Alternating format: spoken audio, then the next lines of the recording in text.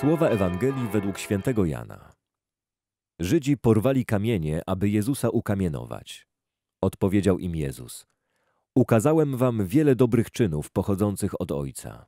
Za który z tych czynów chcecie mnie ukamienować? Odpowiedzieli mu Żydzi: Nie chcemy cię kamienować za dobry czyn, ale za bluźnierstwo, za to, że ty, będąc człowiekiem, uważasz siebie za Boga. Odpowiedział im Jezus: Czyż nie napisano w waszym prawie, ja rzekłem, bogami jesteście? Jeżeli pismo nazywa bogami tych, do których skierowano Słowo Boże, a pisma nie można odrzucić, to jakżeż wy o tym, którego Ojciec poświęcił i posłał na świat, mówicie bluźnisz, dlatego że powiedziałem, jestem Synem Bożym.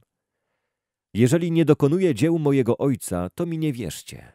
Jeżeli jednak dokonuję, to choćbyście mnie nie wierzyli, wierzcie moim dziełom, abyście poznali i wiedzieli, że Ojciec jest we mnie, a ja w Ojcu. I znowu starali się go pojmać, ale on uszedł z ich rąk. I powtórnie udał się za Jordan, na miejsce, gdzie Jan poprzednio udzielał chrztu, i tam przebywał. Wielu przybyło do niego, mówiąc, iż Jan wprawdzie nie uczynił żadnego znaku, ale że wszystko, co Jan o nim powiedział, było prawdą i wielu tam w niego uwierzyło.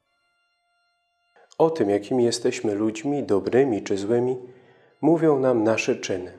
Dobrzy ludzie czynią dobro, a źli zło. Aby zrozumieć, kim jest Jezus Chrystus, wystarczy się przypatrzeć Jego czynom. Nie znajdziemy tam ani jednego złego. Wszystko, co czyni Jezus, było bardzo dobre. A czy w Księdze Rodzaju nie czytamy słów, że wszystko, co uczynił Bóg, było bardzo dobre?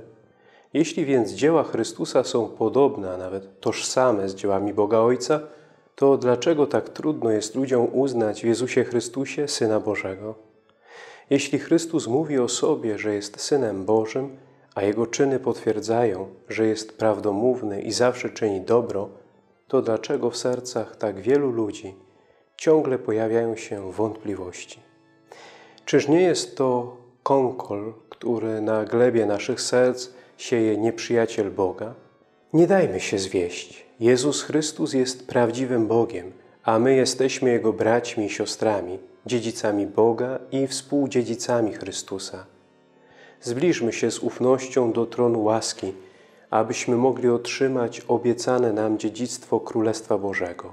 Uwierzmy nie tylko Jezusowi, ale również w Jezusa – Przyjęcie Chrystusa jako Pana i Zbawiciela jest bramą zbawienia. Nikt nie może osiągnąć zbawienia przechodząc inną drogą i wchodząc inną bramą. Tylko w Jezusie jest zbawienie świata.